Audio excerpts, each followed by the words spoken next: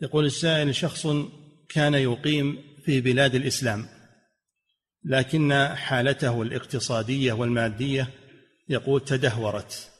فذهب إلى بلاد الكفر وتيسرت حالته فهل يجب عليه الآن أن يرجع إلى بلاد الإسلام؟ ما في شك ما يقيم في بلاد الكفر إلا بقدر الحاجة والضرورة ثم يرجع إلى بلاد الإسلام نعم